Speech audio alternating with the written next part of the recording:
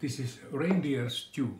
Uh, this is Jilliana Ranicar-Breese and I'm having my first uh, proper Finnish meal, home cooked by my host.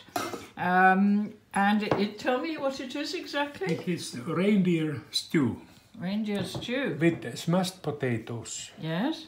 It is very But lingonberries, these are li- lingonberries, I de- think. decorated with lingonberries. And you, you mash potato and you must make a hole in the middle, you say? Yeah, And you, hole into and you put the reindeer meat there inside Wow, in the hole.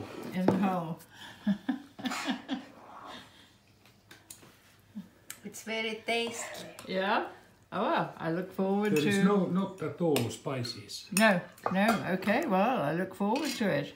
Thank you very much.